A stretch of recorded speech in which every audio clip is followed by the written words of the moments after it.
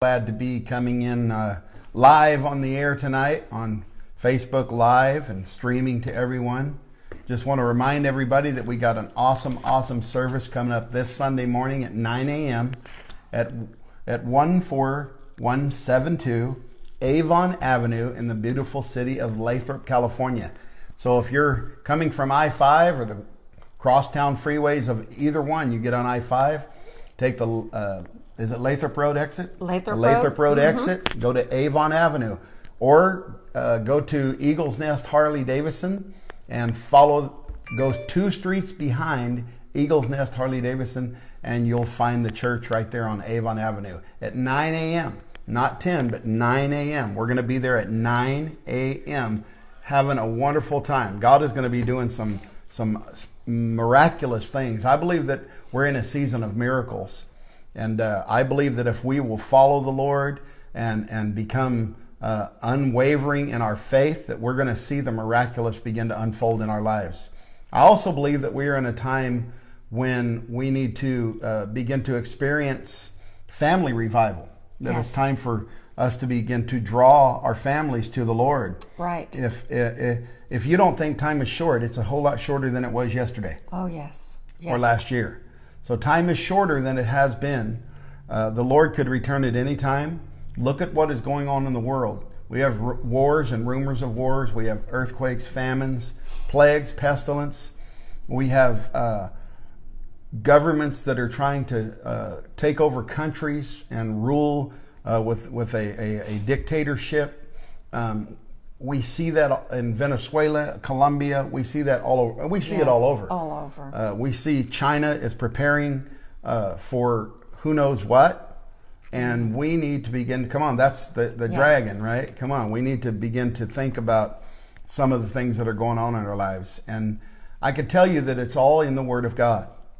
That if you will begin to get into the Word of God and apply the Word of God to your life, it will begin to make such a difference in how you view the world, how you see the world. You know, we are the children of the Most High God. We are called and anointed and appointed for this time. I used to think when I was young, man, I wish I was born in the cowboy days, but I was born exactly when God wanted me to be born. I was thinking, you know, I was thinking the other day how, you know, we, we I'm 60 years old. I've seen so much take place, and I know those that are are older than I, uh, they see they can see how so much has taken place. We've seen the unfolding of so much in our lifetimes, and we need to begin to realize that we have to pass those things on Right. knowledge wise, we don't know when the Lord is coming back. It could be tonight while you're sleeping. And I don't know about you, but I don't want to go into eternity without my loved ones. I want them to be right there with me. And I'm I, I don't want to just give them fire insurance, Right. but I want to lead them to the Lord. Amen. Amen. And you know, God's really been dealing with me about us finding our instructions in the Word. All hell is breaking loose, man, all around us. We see all hell breaking loose. It almost seems like our own government is against us as conservatives and Christians, and uh, you know, it. it- Well, actually, I believe they are. They were against Jesus, and I believe that they're against us now. But you know, we find that in the Word of God there is a a path for us. There is direction for us. There is instruction for us. There is correction for us in the Word of God. And if we will begin to, uh, we're panning a little bit here, but if we will begin to just get into the Word of God to seek our direction, Amen. Amen. And and th- and this is a real motivational word tonight. It's real motivational. The Word of God is motivational. Yes, I used to get upset because preachers were calling themselves motivational speakers. I kind of still do. We ought to just say we're preachers preaching a motivational message. There Amen. Yeah. Uh, but the Word of God is very motivational, and it will. it- It is. It is the, the logistics for living this life right now. So God began to deal with me, and I was I was just talking to Pastor Beth about this today. In fact, I know I noticed she has some notes on the same thing over there. But let me read some scripture to you out of the book of Proverbs, chapter three. Proverbs chapter 3, uh, beginning in verse 1. It says, My son, forget not my law, but let thine heart keep my commandments. For length of days and long life and peace shall they add to thee. Let not mercy and truth forsake thee. Bind them about thy neck. Write them upon the tablets of thine heart. So shalt thou find favor and good under and good understanding in the sight of God and man. Trust in the Lord with all thine heart and lean not to thine own understanding. In all thy ways, are you listening? In all thy ways acknowledge him, and he shall direct thy path. Amen. Think about that. He shall direct thy path. Now, I don't know about you, but that's what I want. I want the Lord to direct my, my path. So, so, so, you know, and, and I'm always saying I don't know about you because I don't always know what uh, going on in everyone's life. But, and, and, but, but in my life, there are so many and so much information, or should I say, misinformation that's coming at me Right. in all directions, day and night. Even good, even people with good intentions and well-meaning people coming at me with this information and that information, and don't do this and don't take that and don't have this and don't go there and Right. don't or do this and do this. This works, that works, that works, Right. this works. But so so tonight I want to speak to you about direction and guidance where we're getting our direction and guidance and how we're receiving our direction and guidance. See, anyone listening to me uh, tonight, ha- have you ever been physically lost? I've been physically lost, and I have a really good, keen sense of direction, but I've been physically lost, and it is freaky. Yes. I've been in the mountains where I've kind of lost my sense of direction and it just got freaky. And, and getting lost is, is a trip because it causes an immediate response, whether uh, it's confusion, sometimes panic, other times anger. I remember when I got up, uh, got lost, I got upset like, what is wrong with me? I'm just like, man, how can I lose my bearings like this? And, I- and I'm seriously speaking about being lost, not just taking a wrong turn. Right. Being lost, like, like out in the woods lost, right? Yeah. like out in the woods. Like I have, like I said, I have this really good sense of direction, yet I've been lost before. So it doesn't matter how skilled you think you are, doesn't matter how in tune you think you are. There are times when there are things that can lead you astray and you can get lost. It ain't no fun being lost. You can get lost. You can get lost in life. Yeah. Amen? Yeah. You can be going in the wrong direction, and that's being lost, especially if you think you're going in the right direction. This world and and and it's false or it's it's God, little g, Satan himself, they love to do all that they can do to confuse and mislead God's children. He's the author of confusion. You understand? Oh, yes. God is not the author of confusion. Satan is the author of confusion, and he does everything he can. He uses the media, he uses literature, propaganda, education, he uses infomercials, he uses everything he can to mislead God's people. He uses government, he uses anything that's not being led by the Lord is being led astray. Right. Amen? Amen. There's one way, there's one door. Jesus is the way, all right? Yes. He is the door. There is one way that leads to God. There's one way into the kingdom of God. Amen? There's one way into the kingdom of heaven. And anyone that tries to get in any other way is a thief and a, a robber and will by no means enter in. So you have to follow the instructions laid down in God's word. Now, you know, maybe during your day-to-day life, you're working your job and you know you're you're doing things that aren't really uh, you know that you don't need the the word of God so to speak to operate the machinery, but you need the word of God directing your life as you're living it. And that includes your job. That includes everything. Yes. The Bible says, work as though you work unto the Lord. Amen. So God's word is our compass for our life's direction. It's our compass. And, tha- and that's why we must get it in our hearts, in our spirit, down, down in our heart and mind, because God is giving us, He has given us His spiritual compass. You understand? It's our spiritual compass. It's, it's, the, it's not only just the moral law, but it's direction. Right. for life. Amen. And that's why we need to we need continued exposure to the word of God so that we don't get lost in all the, the, the distractions of this world. And there are so many, and we are so easily distracted. I mean, we just get so easily distracted. The enemy comes with doubt, fear, insecurity Yes. right? Bitterness, anger, resentment, trouble, hard times, sickness, disease, poverty, pain, loss of jobs, gain of job. I mean, sometimes we get something and it distracts us, or we give some, or we get we lose something and it distracts us. Some people get distracted by what they call blessings. God blessed me with this and God blessed me with that, but yet they're so distracted by it that they miss out on exactly God what God was trying to do. Right. So the truth is, what good does it do to have the truth and not live it? Wow. Right? I say all the time, Yes. what good does it do to have favor and not use it? Right. Right? I mean, if if if your cousin owns a body shop, take your car to the body shop where your cousin is and get him to give you a discount, right? Amen. I mean, you know somebody. I mean, what good does it do to have favor or to claim favor and never use it? What good does it do to have a map, the logistics for life, the instructions for life, and not use them? Many Christians neglect the word and they end up lost. You hear me? They end up lost. And, and you can tell they're lost. It's not, be, it's not that they're not saved. You can tell they're lost because they are not uh, productive in their walk with God. They are not uh, prof- they are not prospering in their walk with God.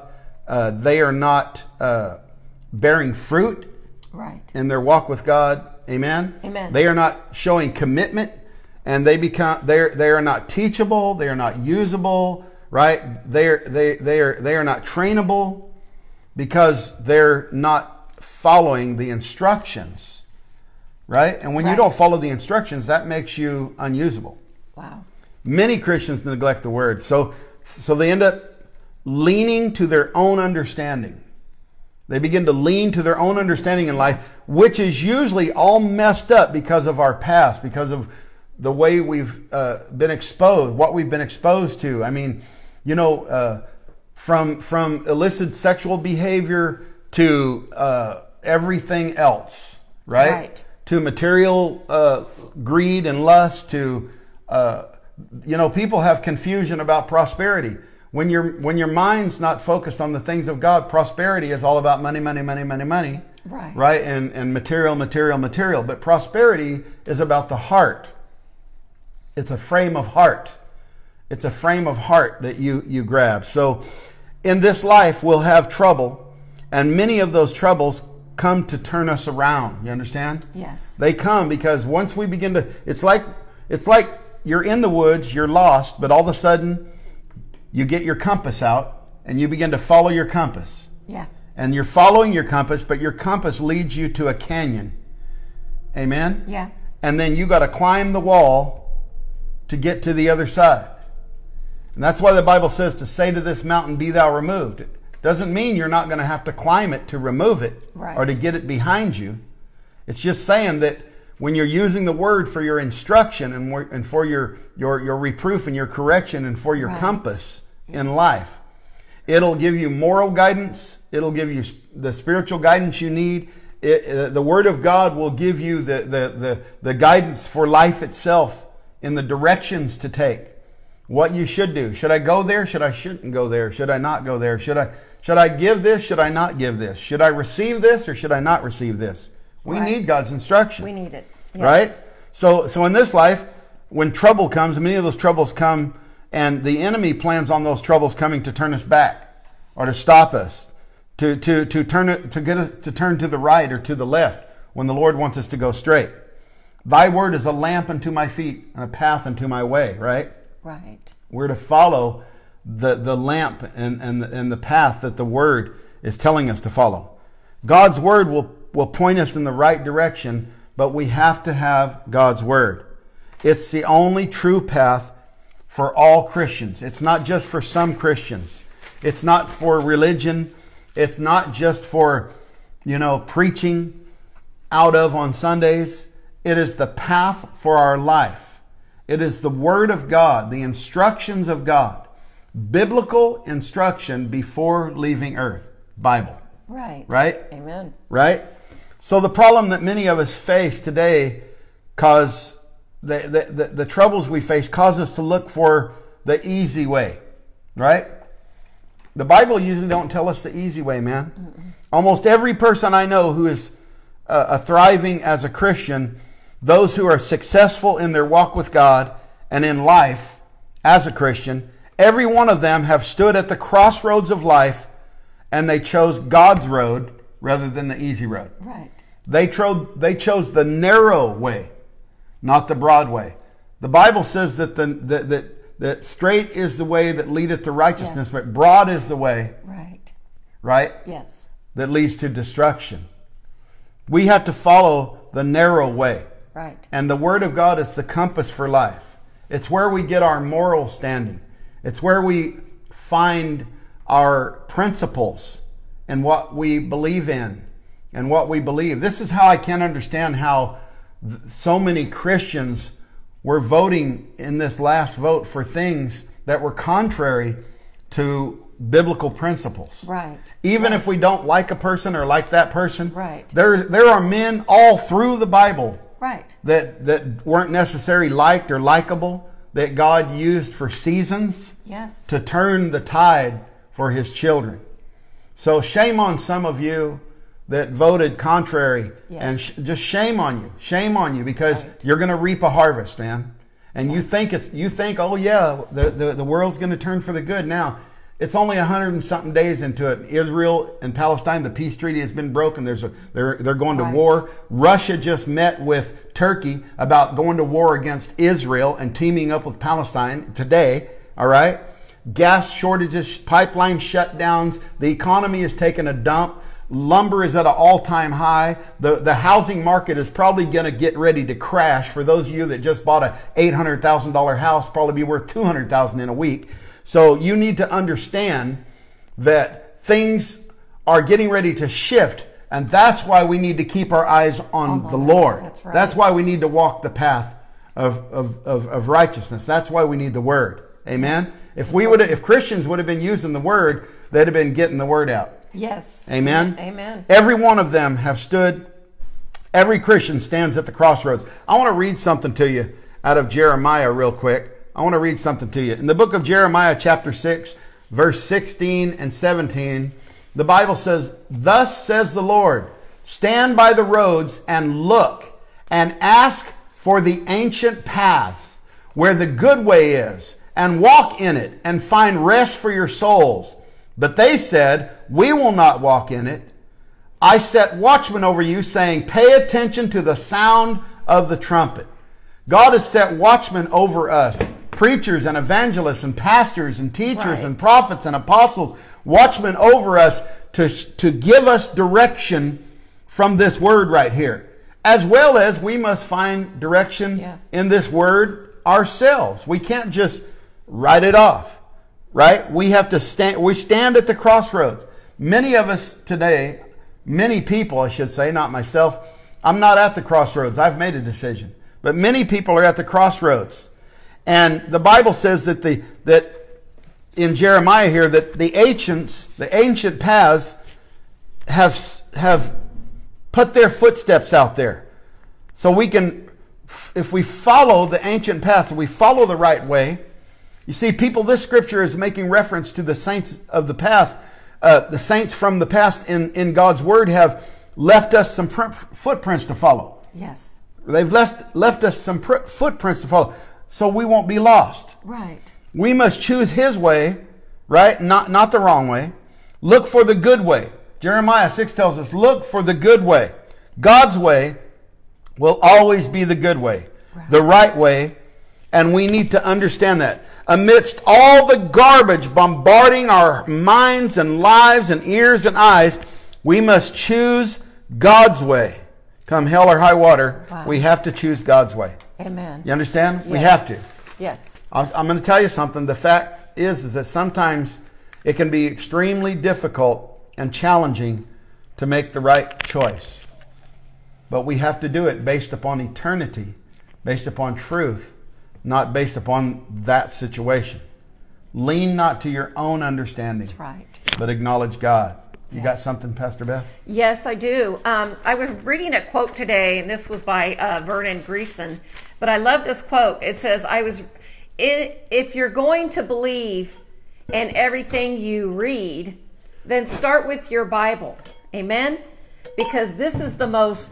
If you read Hebrew four twelve, it says, "For the word of God is living and powerful." Yeah. And sharper than any two-edged Amen. sword. Are you hearing me? Piercing even to the division of soul and spirit and the joints and marrow of its discerner of thoughts and intents of the heart. It Goes all the way down into the intent. You know, and if you if you really open up your word and if you really pray, you know, 30, uh, Psalm 32 8 says, He said, I will instruct you and teach you, and I will guide you with my eye. And I was thinking about this, how um, how the Lord is, how good He is, and how this world is so crazy, and and the worldly gains of this world is not worth it. And I was thinking back when I was reading about Exodus 32, about how the children of Israel had begun to build some gold idols Oh, yeah. because they went off their path and they and and you know Moses was up there on the mountain talking to God and they couldn't even wait for Moses to come on down and they were so busy building their gold tab but see they got uh, they got distracted Right? they got bored Yep. they got to where their their eyes were on the worldly Come things on. in this world It's so today true. and us Christians get our eyes off God easy and I just kept hearing the Lord say you have to fix your eyes on me Wow. you cannot be Fix like the children the of. Israel because they wandered for 40 years because their eyes weren't on God. Their path was off. We got to get back on the right path. Man, that's powerful. We got to learn to listen to the Lord. We got to hear what He's saying. And listen, I wouldn't move until God gave me the answer. And that's the problem. We're moving without getting the answer. That's right. So let's let's get back on the path. and that yes, this is a crazy world. But we can lean on the Lord, like Pastor was That's saying. right. Lean and on the Lord. most of all, trust Him all the way. All the way. And and don't and listen. Your own understandings will fail you every day, but Him, when He directs you, He directs you the way that you need to go. And I don't want to be like the children of Israel, Pastor. I don't want to wander because I get bored or I'm distracted or I'm listening to people. We got to learn to open our ears to the Word of God. Right. That's Amen? exactly right. That's so right. that's what God was sharing with me is that we can easily get distracted. You know, we can miss a Sunday here or there, or we can not, you know, oh, watch us on live on Thursday because we're, you know, we're busy or we have to work. But we have to have the Word of God, like Pastor was saying. We got that's that's what gives us life. life. That's and right. that's what gets us motivated, and that's what gets us focused. And we've got to get focused and you and pray for the world, but don't get wrapped up in the world because I don't want you'll get distracted, you'll get upset. That's right. But get back on track and let God direct you where you need to go. it's Amen? time to get back on track. Yes. It is time. Many of us have been off track. We've gone through this this pandemic, whether Yes. whatever it is, we've gone through it. Yeah. Uh, this season, uh, I believe that this season should have been used by Christians to grow closer to the Lord, to grow stronger in the Lord, which I've seen so many that have. Right. So many of us have grown uh, and advanced in the kingdom, and the kingdom of God has advanced. Now it's time for us to begin to march forward and take back what has been taken from us, to stand strong and fight for what is right. Listen, God wants to pour into you, but He cannot pour into you if you're not a, a, a- a willing vessel. Right. Amen? Amen. So you're at the crossroads tonight. Choose, make a choice. My life from this point forward is not going to be directed by my own understanding. My, my life is going to be directed by the Word of God. Yes. My life's compass is going to be the Holy Spirit. And I'm going to do what God says I can do. I'm going to have what God says I can have. Amen. I'm going to go where God says I can go. And I'm going to be what God says I can be. And I'm going to stand on that right there. Amen. Amen. Listen, guys, we love you. We believe in you. God believes in you. This is a, a season where we are going to come through it victorious. Don't get down. but get up in Jesus' name. And listen, show up Sunday morning and bring somebody with you. We're going to have the most wonderful, awesome time in the Lord. We're going to worship the Lord God Almighty. We're going to pour out our hearts at the altar. We're going to pour out the word into your lives. So it's at 14172 Avon Avenue in Lathrop, California. That's 14172 Avon Avenue in Lathrop, California at 9 a.m. Prayer Valley Family Worship Church. There's a nameful. There's a mouthful. Prayer Valley Family Worship Church. And listen, guys, we will see you here, there, or in the air. I love you. Be Love you. blessed. Amen.